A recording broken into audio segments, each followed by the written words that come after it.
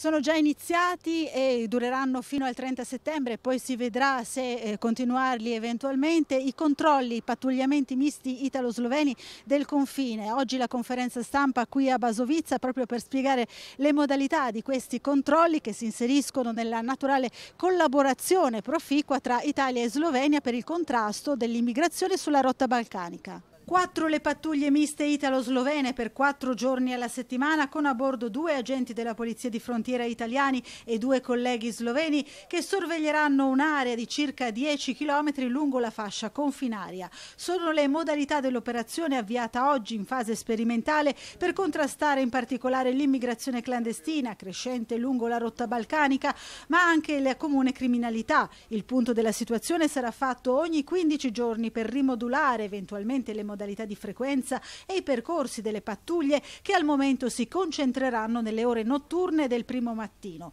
Infine il 30 settembre sarà effettuata una panoramica definitiva dell'attività che potrebbe essere ulteriormente estesa.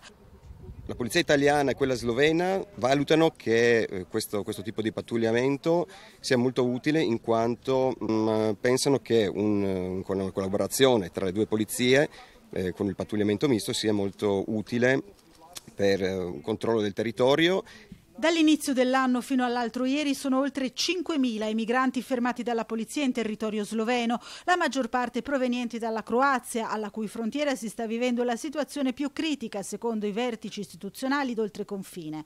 I controlli, è stato ribadito, si terranno lungo la fascia confinaria nelle province di Trieste e Gorizia, sul versante italiano e di Capodistria e Nova Gorizia su quello sloveno. Ci aspettiamo molto, eh, comunque dei risultati positivi dall'inizio di questi pattugliamenti misti che partono, anzi sono già partiti oggi. Eh, la collaborazione con la Slovenia è ottima e siamo certi che anche con le notizie di intelligence che eh, ci scambieremo, lavorando insieme faremo un buon servizio per le nostre collettività.